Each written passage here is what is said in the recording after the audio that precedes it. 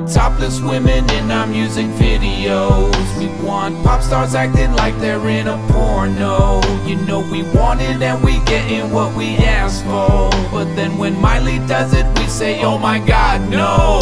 Why she acting like a hoe? This is so wrong. We all object. Where did she get the idea to act like a sexual object? I suspect she is on drugs. I think she's losing her mind.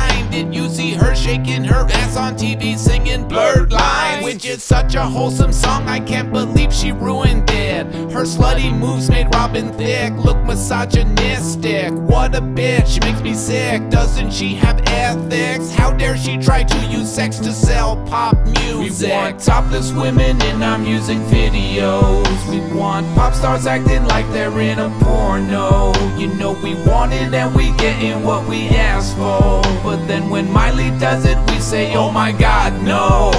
The line's no longer blurred, you crossed it and upset the nation. Don't get us wrong, we're super cool with objectification. But it's hard to watch you play that part, we've known you for too long. So please go back to singing the Hannah Montana theme song. And we'll go back to watching others do exactly what you did. And we won't be offended, cause we cannot picture them as kids. And we'll be cool with videos of women prancing around naked. And it won't be sexist as long as the song is a number one hit. We want topless women in our music videos. We want pop stars acting like they're in a porno. You know we want it and we getting what we ask for. But then when Miley does it, we say, oh my god, no.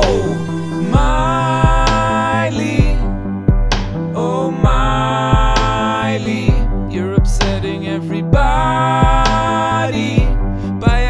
so slutty Unlike the other pop stars.